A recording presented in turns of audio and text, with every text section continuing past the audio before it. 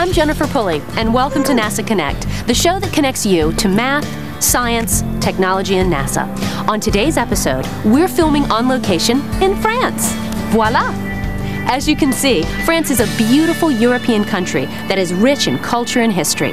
Here's a quick tour of some of the places we've seen during our trip to France.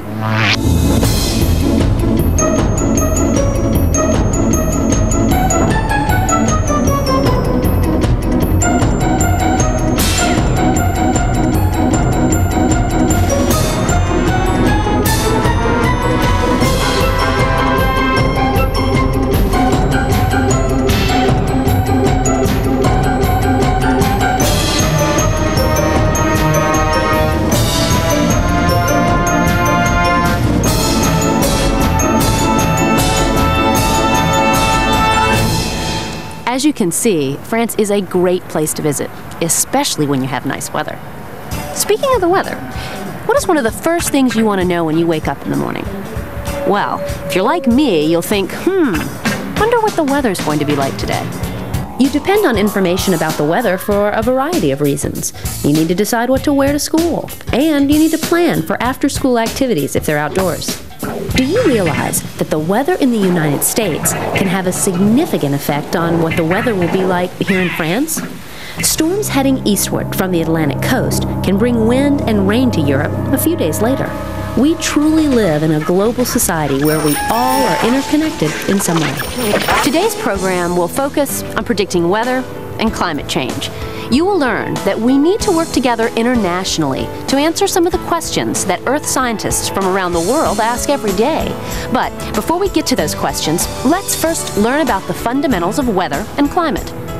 During the course of the program, you will be asked to answer several inquiry based questions. After the questions appear on the screen, your teacher will pause the program to allow you time to answer and discuss the questions. This is your time to explore and become critical thinkers. Students working in groups take a few minutes to answer the following questions How is weather different from climate? List and discuss various kinds of weather you have experienced. What are some factors that determine weather? What climate do you live in? It's now time to pause the program and answer the questions. Okay, guys, let's talk about weather. Basically, weather is the daily condition of the Earth's atmosphere. Weather is produced by the interaction of several factors, which include heat, air pressure, winds, and moisture. Let's briefly look at each one of those factors. Heat, transferred from the sun, is absorbed by the Earth and spread through the atmosphere. Air temperature varies from place to place because the sun's rays strike the Earth at different angles. Air pressure is the measure of the force of the air pressing down on the Earth's surface. Air pressure depends on the density of the air. Denser air exerts more pressure than less dense air. Air pressure on the Earth can vary considerably from location to location due to unequal heating of the atmosphere. These air pressure differences cause the movement of air, which we call wind. Finally, the amount of moisture in the air, called relative humidity, also influences weather.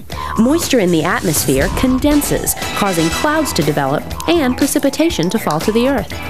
So, have you come up with the difference between weather and climate? I said earlier that weather is the daily condition of the Earth's atmosphere. But what about climate? Well, for most of us, climate means a location is hot, cold, wet, or dry. You see, climate is the average weather conditions for a specific region over an extended period of time.